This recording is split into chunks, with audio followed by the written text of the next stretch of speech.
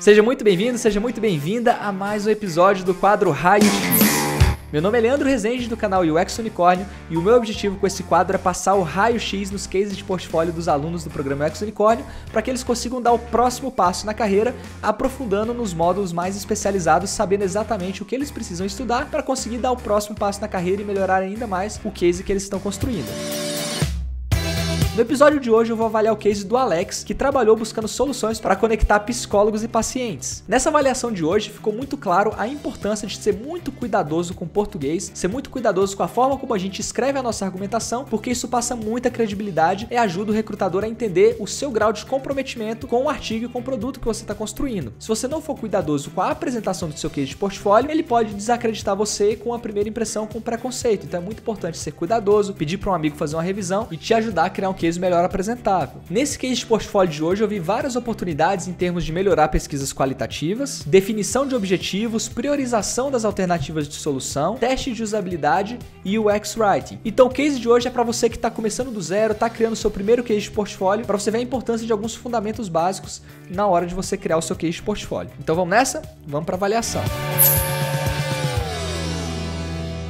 Então vamos dar uma olhadinha aqui no case do Alex. O Alex vai trabalhar com psicologia remota. Ele quer criar uma plataforma de fácil usabilidade interligando pacientes e psicólogos. Qual é a solução dele? Minha solução pode contribuir ajudando pessoas que necessitam de um atendimento psicológico a encontrar um profissional que mais pode atender a sua demanda, tanto financeira quanto demanda de tempo, deslocamento, utilizando sempre o atendimento online. Os usuários são pacientes e psicólogos. Então vamos ver o que ele projetou aqui pra gente, contribuindo com a saúde mental das pessoas que precisam de ajuda psicológica e terapêutica. Como utilizei o UX Design para ajudar as pessoas que necessitam de terapia a encontrar o psicólogo ideal para ela. Beleza? Então aqui a gente tem uma marca da Psico conectando pessoas. Eu recomendo aqui, Alex, você não focar somente na marca, mas colocar o seu produto. Deixa eu ver se aqui você explorou. Você colocou aqui personas, jornadas, tem resultados de pesquisas. Bom, você ainda não chegou na parte de design de interfaces, né? Mas quando chegar na parte de design de interfaces e alta fidelidade, é legal você colocar um dribble shot daqueles aqui lindões para falar assim pro recrutador: olha, recrutador, eu sei o que eu tô fazendo, é bonito, mas eu também tenho argumentos. Então, olha só, dá uma olhada nesse case. Que chama atenção, né? Querendo ou não, a beleza ela ainda chama atenção. O desafio. No meu primeiro portfólio, procurei demonstrar como posso melhorar a vida de pessoas que necessitam de ajuda psicológica através de um aplicativo no qual cria relações entre psicólogos e pacientes. Como aproveitar oportunidades de tecnologia com o intuito de melhorar a saúde daqueles que precisam de ajuda psicológica ou psiquiátrica. Vamos lá, qual que é o cenário atual? Bom, então deu para entender aqui do que se trata o desafio, mas olha só, você fala que vai ajudar com ajuda psicológica e terapêutica, vai ajudar com terapia, vai ajudar aqui de novo, de novo, com o aplicativo que cria conexões entre psicólogo e paciente. Então olha só, você não precisa exatamente seguir esse mesmo modelo aqui e repetir no título, subtítulo, desafio, subtítulo de novo, o que você vai fazer. Eu recomendo você tentar resumir e a cada frase você só colocar as palavras, só os conceitos e os fundamentos que você ainda não repetiu nas frases acima. Assim você vai enxugando o seu case, beleza? Vamos lá para o cenário atual. Pessoas precisam de ajuda profissional e psicológica psicológica e psiquiátrica nessa sociedade, onde cada vez mais cobre-se resultados. Pessoas em um momento de solidão, ainda mais agravado por consequência do isolamento social. Um aumento na taxa de suicídio em virtude dos fatores acima mencionados e de tantos outros, psicólogos têm se tornado cada vez mais requisitados nessa sociedade que anseia por dias melhores. Essa sentença ficou muito grande. Eu recomendo a gente seguir aquela mesma linha quando a gente vai escrever textos em inglês, que é de você criar frases curtas, rajadinhas de conceitos que são fáceis de compreender. Isso é muito importante. Então aqui daria para você ajustar, olha, pessoas precisam de ajuda profissional psicológica nessa sociedade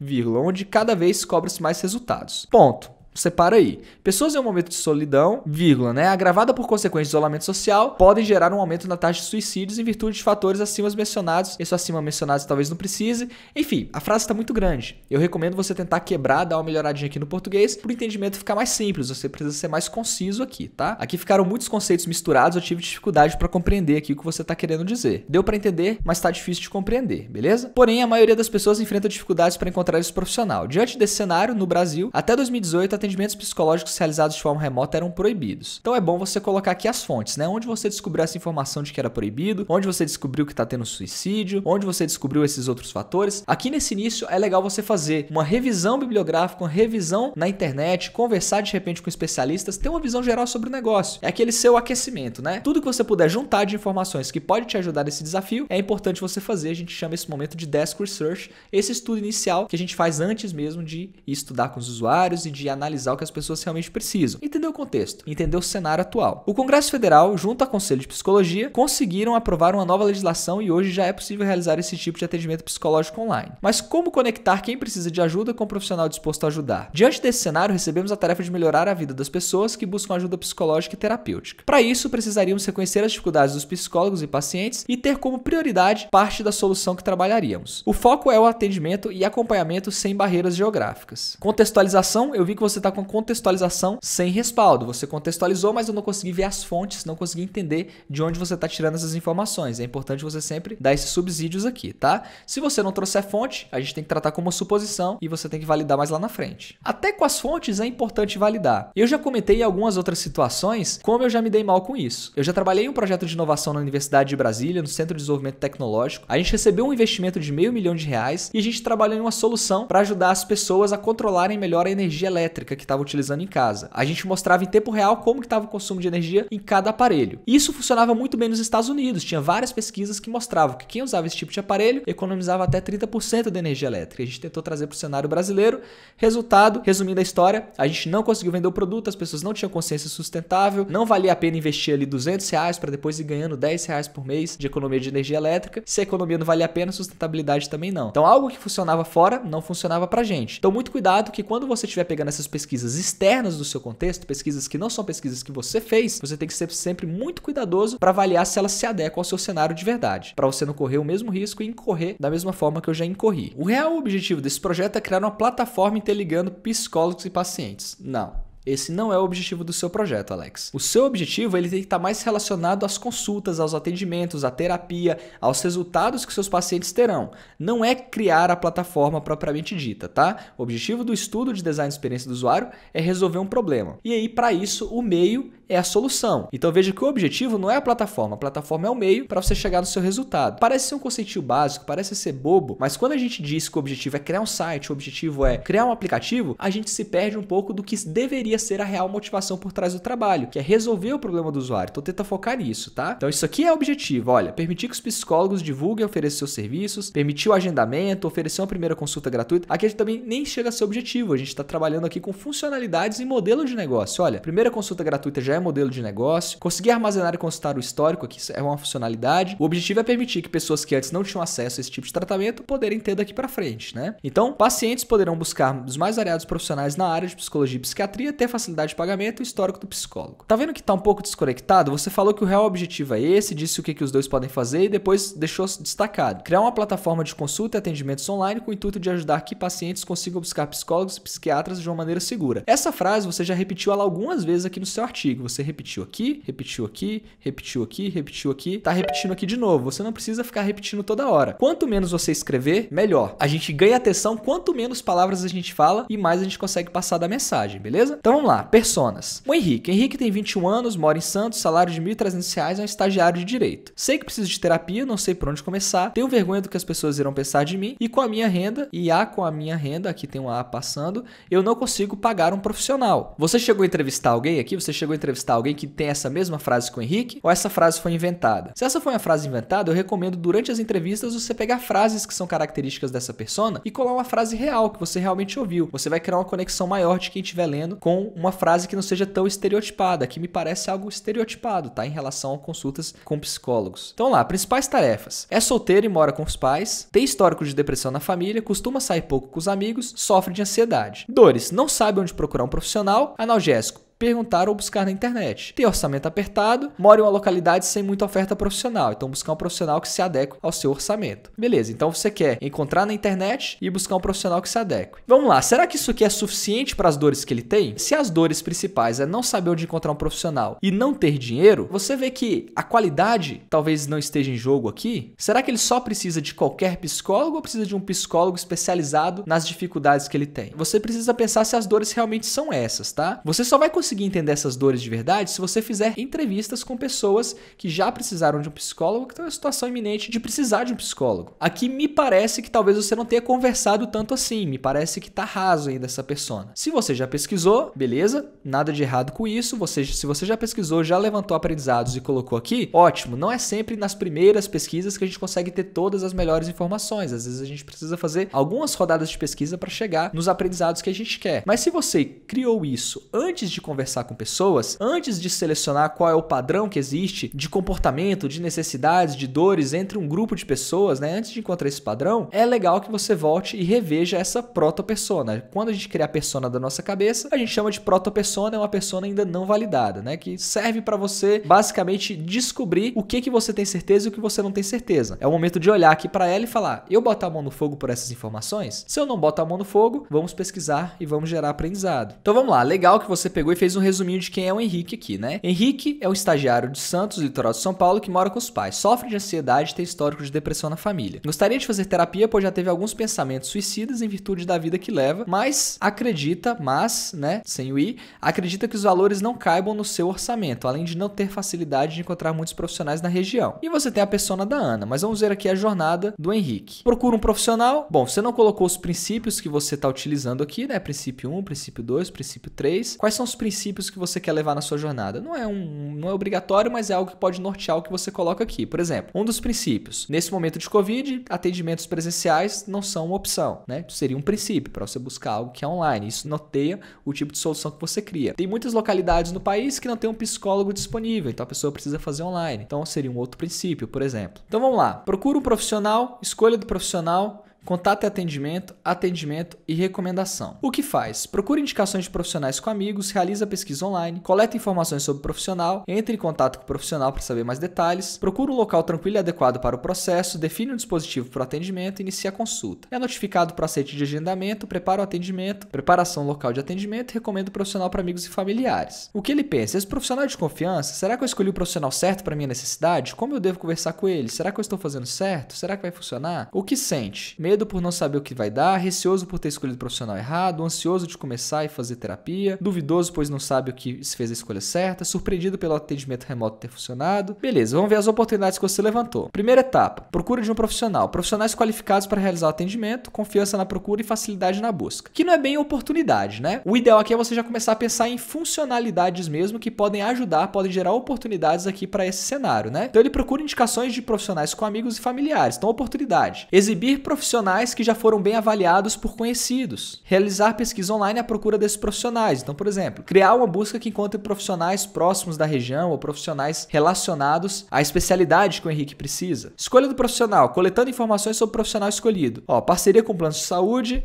beleza, é uma oportunidade. Aplicativo de fácil usabilidade não é bem uma oportunidade, é uma obrigação hoje em dia em qualquer ferramenta. Canal de atendimento simplificado também é uma obrigação. Mas como você pode melhorar isso? Por exemplo, criando um chat de conexão direta com profissionais? Poderia ser uma. Ou um chat de conexão direta com as secretárias dos profissionais? Então já muda um pouquinho. O simplificado fica um pouco mais específico, porque o simplificado aqui está subjetivo, né? Vamos lá, contato e atendimento. Procura um local tranquilo e adequado para o processo, define um dispositivo para atendimento e inicia a consulta. Então, otimização de equipamento. Aqui eu não entendi muito bem essa oportunidade, mas de repente aqui, dicas para utilizar da melhor forma o trabalho remoto, né? Não quer dizer que o jeito que eu estou falando é certo e o jeito que você está falando é errado, tá, Alex? Eu não sou dono da verdade e aqui eu só tô levantando oportunidades que vêm na minha cabeça junto com você. O que eu tô tentando fazer é tirar um pouco da subjetividade e te dar exemplos de coisas mais objetivas, de algo que realmente conecta aqui com o que poderia ajudar nesse cenário. Mas não quer dizer que as minhas ideias aqui são as boas. Tô fazendo brainstorming com você, tá?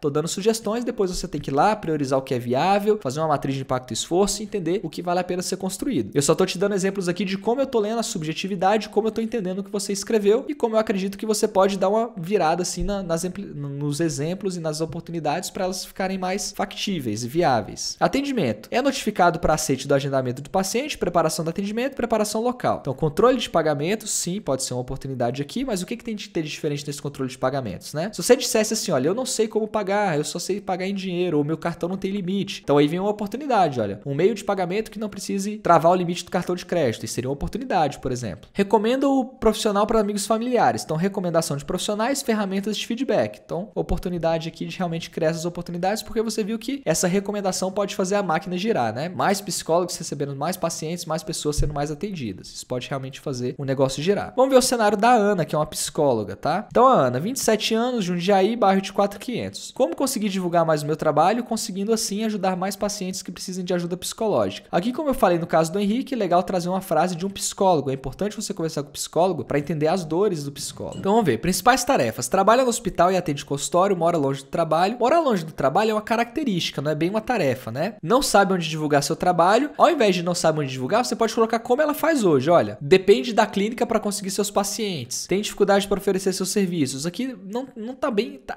trabalha em um hospital e atende consultório é uma tarefa que ela faz. Essas outras são mais características demográficas, tá? Dores. Divide o consultório. Por que, que dividir o consultório é uma dor? Talvez pagar altas taxas para dividir o consultório seria uma dor. Dividir o consultório talvez pode até ser uma, um analgésico usar, né? Já, né? Para não precisar pagar um aluguel sozinho. Não consegue divulgar seu trabalho, pode ser uma dor. Dificuldade em gerenciar o histórico de pacientes, mora longe do centro urbano. Isso não é necessariamente uma dor. Agora, se ela tem dificuldade, alto tempo de deslocamento para chegar no trabalho, aí sim pode ser uma dor, né? Então, analgésico, gerenciamento no próprio aplicativo. Se você conversar com psicólogos, conversar com pessoas, com pacientes, eu tenho certeza que você vai identificar dores diferentes, tá? Talvez muitas vezes quando a gente está assim raso, quando a gente está mais no estereótipo do que seria esse perfil, pode ser que a gente não tenha conversado ainda. Eu posso estar errado, você já pode até ter conversado, mas eu imagino aqui que você levantou essas informações dentro da sua própria perspectiva. Então, se for isso, vale a pena você entrevistar para você conseguir pegar informações melhores, beleza? Então, Ana é uma psicóloga que trabalha em dois empregos. Atende em um hospital em período comercial, onde trata pacientes com obesidade, e à noite atende um consultório compartilhado. Ana mora longe do trabalho e perde muito tempo com deslocamento. Tem vontade apenas de atender em consultório, porém não sabe onde divulgar o seu trabalho. Tem certas dificuldades em gerenciar o histórico de consultas dos seus pacientes. Beleza? Você deu uma resumida aqui na persona. E o que ela faz, né? Procura uma plataforma, seleção de plataforma, cadastro na plataforma, experiência de consulta e pós-atendimento. Esses estágios que você colocou aqui me dá a impressão de que você está tentando encaixar sua solução em um problema. E o que a gente tem que fazer não é esse caminho de tentar achar um problema para nossa solução. A gente precisa entender o problema, entender o cenário atual para depois buscar a solução. Talvez os psicólogos eles não começam buscando, procurando uma plataforma, né? Mas vamos ver o que você escreveu aqui. Busca informações sobre atendimento remoto, busca plataformas disponíveis, compara os pagamentos. Talvez no primeiro estágio aqui seja identifica quantos atendimentos vai fazer no mês. Aí verifica que vai fazer poucos atendimentos, está com a agenda vazia, fica preocupada por não conseguir ter uma remuneração de acordo com os padrões que ela tinha antes da pandemia. Então, tá vendo? Ela tá tendo a consciência do problema dela. Qual que é o segundo ponto? Vai buscar formas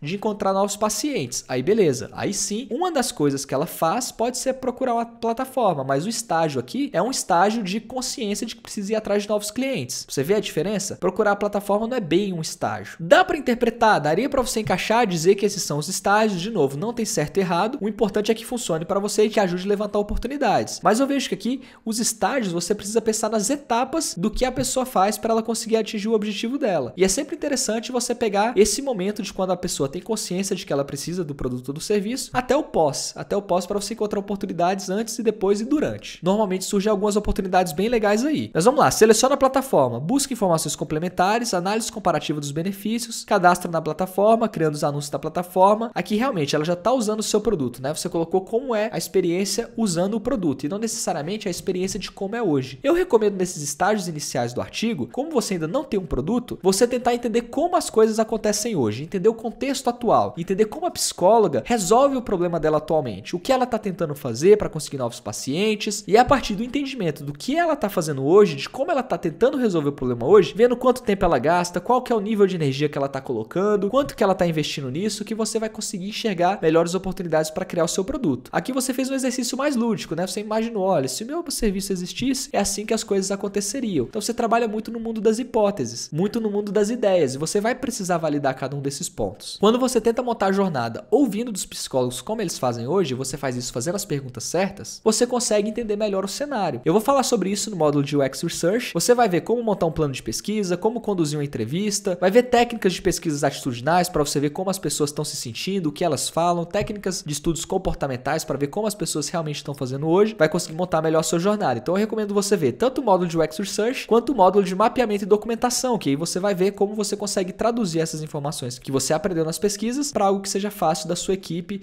e de outras pessoas que trabalham com você entenderem, beleza? Tá errado? Não, não é que tem errado e certo e errado, tá? Mas eu vejo uma oportunidade grande de melhoria aqui se você pensar em como é o contexto atual e não simplesmente tentar imaginar como poderia ser. Então vamos lá para a primeira etapa de validação. Vamos ver como você fez as pesquisas. Nessa etapa de validação das pessoas e suas respectivas jornadas, eu criei um questionário de perguntas utilizando a ferramenta Google Forms. Essa validação de usuários e pessoas foi importante para entendermos como o público-alvo age diante desse cenário. Essa pesquisa ficou disponível durante três dias e foi compartilhada entre grupos do WhatsApp. Foram um total de 95 pessoas pesquisadas entre possíveis pacientes e profissionais de psicologia. Legal! 95 pessoas já é um número considerável. Vamos ver aqui as respostas que você teve. São profissionais de psicologia, olha, percentual de profissionais de psicologia. Então você pegou uma pesquisa dessas 95 pessoas, metade delas aqui são seu público, né? As outras você descarta. Pesquisa com pacientes. Tá, das 95 pessoas, deixa eu ver se eu entendi. Das 95, metade delas eram psicólogos e metade delas eram pacientes, é isso? Ou esses desses 95 aqui, das pesquisas que você fez com profissionais de psicologia, só metade eram psicólogos. Não ficou muito claro aqui para mim esse gráfico, tá bom? Pesquisa com pacientes. A pesquisa com pacientes foi dividida, as pesquisas, aqui o plural, o português aqui vale a pena dar uma revisadinha com carinho em todo o artigo, beleza? A pesquisa com pacientes foram divididas em dois caminhos. Um da pessoa que já fez o atendimento psicológico, pelo menos uma vez na vida, e um caminho da pessoa que nunca fez o atendimento psicológico. Legal que você dividiu. Bem bacana aqui para você conseguir comparar as respostas. Queríamos identificar, além de saber suposições sobre pessoas que fazem ou fizeram esse tipo de atendimento. Buscar entendimento do porquê as pessoas que nunca fizeram atendimento psicológico psicológico. Talvez porque as pessoas nunca fizeram atendimento psicológico, né? Eu acredito que você vai ter um ganho enorme se você revisar o português do artigo, tá? Vai deixar bem mais claro as informações que você está querendo passar. Pesquisa com pessoas que nunca fizeram atendimento, nunca foram ao psicológico. Olha, cuidado aqui de novo. 38% nunca foram ao psicólogo, acham o valor da consulta elevado, aqui está elevado, elevado para sua realidade. Então 36% aqui acham o valor da consulta elevado para sua realidade. Agora olha só, o conceito de caro é muito relativo. Se você perguntar perguntar uma consulta de psicólogo é caro, as pessoas vão tender a responder que sim. Você tem que tomar cuidado. Na verdade, o que vai ditar as regras aqui é o nível de importância que essa consulta tem para quem está sendo atendido. Imagina só, para uma pessoa que está tentando cometer um suicídio, uma consulta de 50 reais, uma consulta de 200 reais, pode não ser tão caro. Existe valor. É claro que não é qualquer pessoa que vai poder pagar 200 reais na consulta, não é qualquer pessoa que vai poder pagar 50 reais na consulta. Mas o conceito de caro é bem relativo, tá? Então cuidado com esse tipo de pergunta. E algumas conclusões. Dos pacientes que fazem atendimento psicológico, 34 44% acaba buscando profissionais através da internet, conseguimos identificar também que 41% das pessoas buscam um profissional perguntando para os amigos. Dos pacientes que fazem atendimento psicológico, menos da metade, 45%, nunca fizeram atendimento psicológico. Aqui eu recomendaria você fazer o seguinte: pega das suas personas e jornadas, seleciona aquilo que você tem certeza, dúvidas, suposições. A matriz CSD cai muito bem aqui. Separa quais são as suas suposições e dúvidas, transforma em hipóteses. A hipótese é o que? Eu acredito nisso. Eu vou saber se eu estou certo, se eu fizer essa pergunta ou se eu fizer esse teste e eu tiver esse resultado. Então você vai criar ali uma relação de quais são as perguntas que você vai fazer na sua pesquisa e o que, que você está querendo aprender. Quando você rodar a pesquisa, vai ficar fácil de entender os aprendizados, se você está confirmando ou se você está refutando. No módulo de UX Research, eu te mostro como fazer um plano de pesquisa, como definir objetivos específicos, objetivos gerais, como montar um roteiro de entrevista, que tipos de perguntas você deve fazer e isso vai clarear ainda mais, tá? Então aqui tem uma oportunidade muito grande para você aprofundar no módulo de UX Research e repetir essas pesquisas que você está fazendo aqui. Lembra que o importante não é só as respostas. O meio aqui significa muito. O importante não é só você trazer o seu protótipo de alta fidelidade. É todo o racional, todo o processo que você conduziu para você sair das suas dúvidas e transformar essas dúvidas e problemas em soluções. É isso que é valioso no trabalho de design de experiência do usuário. É aí que você tem que passar confiança. Então é aí que você não pode pecar. Por isso vale a pena você dar uma revisada em toda essa parte de pesquisa depois de ver o módulo de UX Research. Pesquisa com psicólogos. A pesquisa com psicólogos também foi dividida em duas partes vertentes. Também não entendi. Uma seria para saber se os psicólogos fazem ou já fizeram uso de atendimento online. E os que não fazem, o motivo de não fazer. Então, pesquisa com psicólogos que não fazem atendimento, não realizam atendimento online, sentem insegurança com relação a ferramentas online. Então, de novo, se você perguntar, você sente segurança com ferramentas online? Talvez isso não é muito conclusivo, porque você está enviesando a resposta. Então, toma cuidado com as perguntas. Eu gostaria muito de ver as perguntas que você fez e comparar aqui com os aprendizados que você queria ter. Algumas conclusões. Uma pequena parte dos profissionais de psicologia entrevistado não realizam atendimentos online. Alguns desses profissionais, 34%, pontuação, disseram que não faz esse tipo de atendimento por insegurança com relação a ferramentas existentes. Disseram isso ativamente ou eles disseram porque você enviesou com a pergunta, né? Cuidado com a forma de perguntar. Uma outra parte, 33%, declarou que prefere ainda o atendimento presencial. Essas perguntas de preferência também a gente tem que ser bastante cuidadoso, né? Você prefere esse ou esse? Nem sempre o que as pessoas falam, nem sempre é o que as pessoas fazem, tá? Então cuidado com a forma de perguntar. Pesquisa com psicólogos que fazem atendimento online. Classificam como satisfatória a experiência de atendimento só 29% classificou como satisfatório. Então, aqui já é um número perigoso. O que, que será que está faltando? Então, eu fiquei com muita vontade de fazer uma entrevista qualitativa aqui para poder entender o porquê né, disso não estar tá sendo satisfatório. 70% utilizam WhatsApp, Skype, Zoom para atendimento. Conclusão: dos psicólogos que fazem atendimento online, 29% consideram essa experiência de atendimento online satisfatória e apenas 5% consideram regular por ter tido algum problema ou dificuldade no atendimento. Isso aqui, na verdade, 29% está vendo o copo meio cheio, né? Tá bem otimista aqui achar que isso é bom. 90% considera satisfatório satisfatórios. Quer dizer que 71% consideram insatisfatório. Então, é muito importante você entender, aprofundar nas qualitativas. Aqui vai ser um mundo de oportunidades para sua plataforma fazer a diferença, né? Entendendo o que precisa ser melhorado, fica muito mais fácil de você projetar alguma coisa que responde a essas dificuldades. Alguns psicólogos, apesar de acreditarem que o futuro da psicologia caminha para o atendimento online, acabaram relatando preocupações com alguns pontos. Segurança e sigilo dos atendimentos, pois alguns pacientes que fazem terapia remota não se sentem 100% confortáveis estando na sua casa, faz sentido sentido. E atendimento infantil. Relataram dificuldades com atendimento de crianças online, pois certos momentos as crianças se dispersam e o psicólogo não tem controle total da situação. Interessante, interessante esses aprendizados aqui. Isso aqui é algo que eu acho mais difícil de você ter utilizado como premissas que você já tinha na sua cabeça. Esse ponto aqui eu acredito que você pescou das entrevistas. E aqui, não realização de todos os atendimentos online, muitos disseram que ainda continuarão realizando atendimento presencial. Tá, você não precisa migrar 100% para online, né? Ideia e priorização. Após identificarmos as dores dos usuários, de alinharmos a expectativa e partirmos para ideias de solução. Talvez seja o momento, né, de alinharmos as expectativas. Aqui bem importante, Alex, que você tome realmente muito cuidado com o português, tá? Eu tô vendo várias falhinhas, vários escorregõezinhos,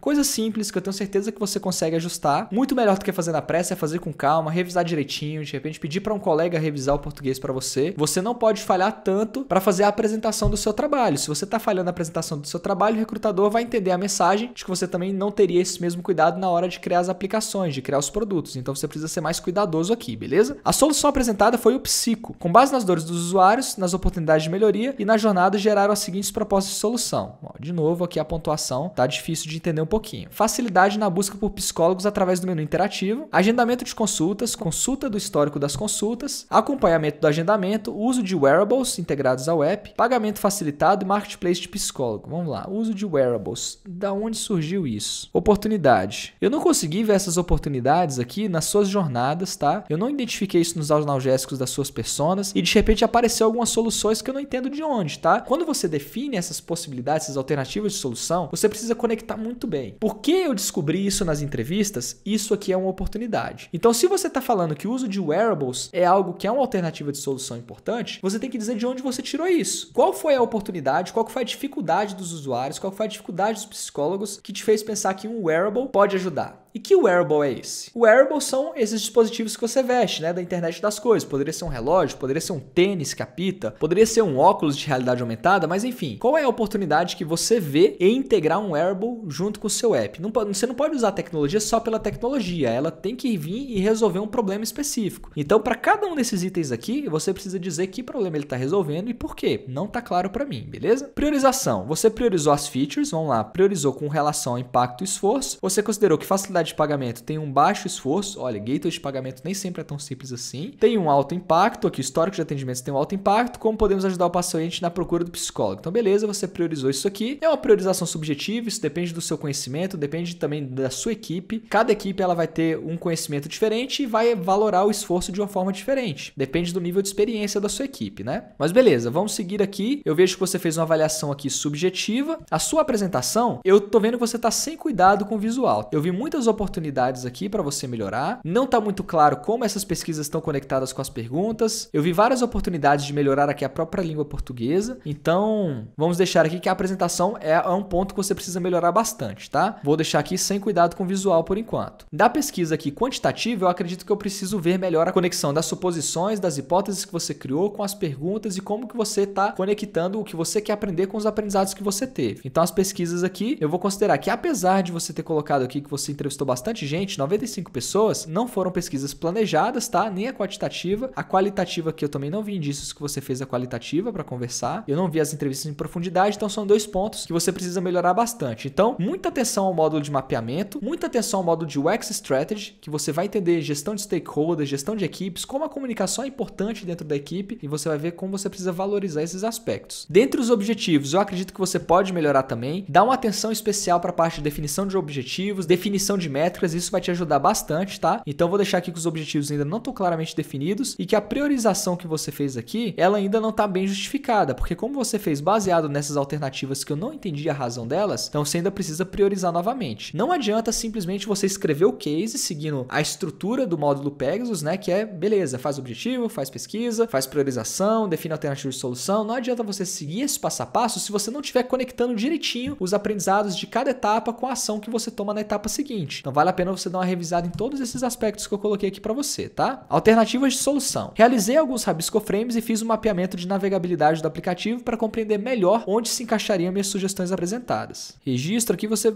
fez um Crazy Eights, né? Então Crazy Eights realmente é só um aquecimento mental. Aqui você já fez ele mais detalhado. Legal que você já colocou aqui, olha, já colocou as palavras, agendamento, disponibilidade. Você já, já fez de uma forma aqui que dá para entender o que as telas estão fazendo. Nesse caso aqui menos, né? Você colocou aqui uma foto, a descrição, não dá para saber exatamente o que, que viria nessa descrição. Então aqui esses rabisco frames aqui não me parece que dá para você fazer testes de usabilidade com eles ainda. Mas vamos ver, olha, recrutei em torno de 20 pessoas. Em torno de 20 pessoas fica meio genérico, né? Legal você colocar um número exato. Você sabe quantas pessoas você fez teste. Recrutei em torno de 20 pessoas para realizar um teste de cadastro e agendamento de consulta com o nosso modelo feito no Marvel. Tive que realizar algumas mudanças, pois 30% das pessoas tiveram dificuldade em escolher a especialidade do psicólogo. Outras pessoas tiveram dificuldade com relação à interação das telas. Aqui é a hora de você escrever, descrever direitinho quais foram essas dificuldades. Ó, cinco pessoas não entenderam que no momento de realizar o agendamento, essa tela significava isso. Dois pontos de atenção. Primeiro, existe uma forma objetiva que você pode fazer essa avaliação aqui do teste de usabilidade. Olha aqui, uma forma possível de você analisar se os testes de usabilidade foram bem ou mal. Olha só, importância dos aprendizados. Critérios: número de participantes que encontraram um problema, frustração causada pelo problema, dificuldade para se recuperar de um problema, se o mesmo usuário encontrou o problema mais de uma vez, problemas que ocorrem em tarefas críticas ou áreas críticas. Então você pode medir um pouco melhor qual foi a qualidade do uso quando você define uma tarefa para o seu usuário. Então você fala para ele: olha só, eu preciso que você realize a seguinte tarefa. Você vai agendar uma consulta às 8 horas da manhã com um psicólogo especialista em XYZ. E aí, quando ele for realizando a tarefa, você vai marcando aqui quais foram as pessoas que caíram nesses critérios. Por exemplo, se frustraram por causa de um erro, não conseguiram se recuperar do problema. Então, existe uma forma objetiva que você vai aprender no módulo de UX Strategy, que você vai conseguir valorar a severidade dos problemas que você avaliou no teste de usabilidade. Agora, outro cuidado importante, como você só tem 20 pessoas, normalmente você não precisa falar, olha, 30% das pessoas tiveram dificuldade. 6 das 20 pessoas tiveram dificuldade. Aqui não é uma amostra significativa, não é uma amostra estatística significativa para você trabalhar com percentual. Então você pode falar que X pessoas, número absoluto, tiveram essa dificuldade. E aqui você falou, né, que acabou diminuindo a quantidade de telas, fazendo que a fluidez ficassem mais claras e rápidas. Fluidez claras e rápidas também ficou muito subjetivo. Então você percebe as oportunidades aqui dentro dessas alternativas de solução aqui. Eu não entendi muito bem como está a conexão dentro das oportunidades que você pegou. Por consequência, quando você criou as telas, não ficou claro aqui para mim como que você também conectou as possibilidades de solução. Revisa o artigo nos pontos que eu te falei que são importantes. Tem mais alguns pontos aqui, olha. O objetivo não está claro, a priorização não está clara, a interface, a parte de UI design, guia de estilos, você ainda não entrou nessa parte. Você vai entrar no módulo de design de interfaces e vai avançar por aqui. Teste de usabilidade também. Foi um teste sem planejamento, você realizou, mas pode melhorar bastante. Eu vou te mostrar o passo a passo no módulo de UX Research. E você ainda não fez testes com os textos, né? Você ainda não avaliou a qualidade da escrita pensando em usar palavras que as pessoas realmente entendem. Então você vai ver no módulo de UX Writing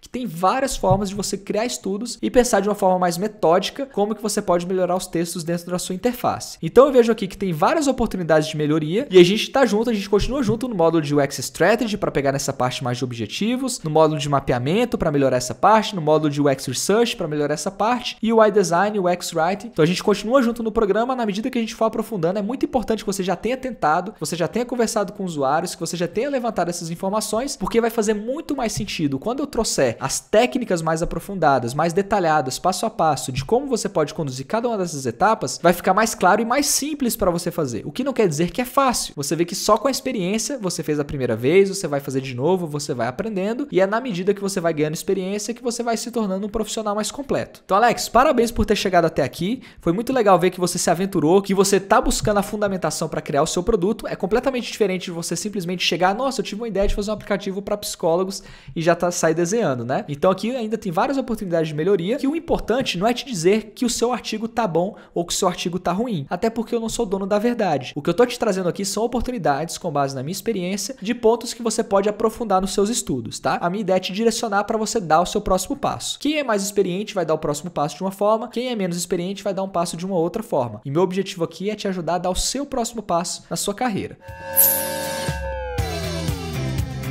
Eu espero que essa avaliação tenha sido útil. Vamos junto, continua com a gente lá no canal do Slack. Eu e minha equipe estamos à disposição para tirar suas dúvidas e a gente continua lá. E para você que está aqui acompanhando a avaliação desse case, muito obrigado por ter acompanhado. Eu espero que esses aprendizados também tenham sido importantes para você aplicar dentro do seu case de portfólio. Apesar das várias oportunidades que a gente identificou, o Alex avançou bastante em relação a muitos cases que são só aqueles dribble shots, né? Que a pessoa só coloca as telinhas e não tem nenhuma fundamentação. Ele está buscando as fundamentações, pode melhorar, qualquer case pode melhorar. Se eu for avaliar um case meu, eu vou achar oportunidades oportunidades de melhoria e a nossa ideia aqui é a melhoria contínua. Vocês nunca vão me ver dizendo que o trabalho está perfeito, porque não existe trabalho perfeito. O produto sempre vai ter oportunidades para melhorar e cada pessoa que avaliar vai ver oportunidades diferentes com base nas experiências anteriores que já teve. Então, Alex, eu te espero para a gente continuar o programa X Unicorn e para você que está aqui acompanhando o quadro Raio X, te vejo na próxima.